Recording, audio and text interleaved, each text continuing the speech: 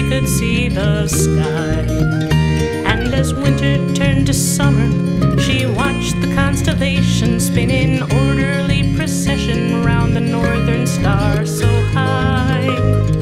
She built a homemade telescope together with her dad, took astronomy in college, and she was far from done. Left waiting by the mailbox for that catalog from Princeton.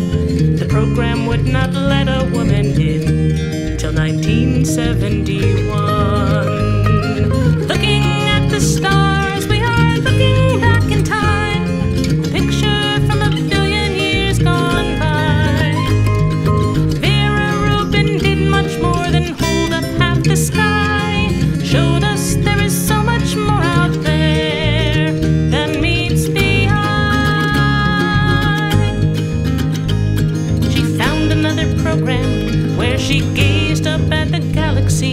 looking for the secret of the stable life they led.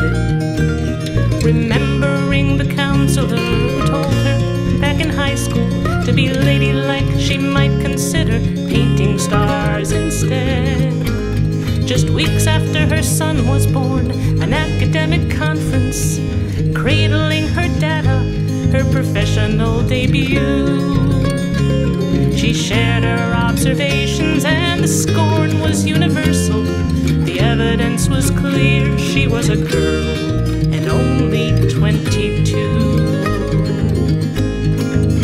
It takes a calculating mind to take the measure of the cosmos, a steady sense of self to hunt for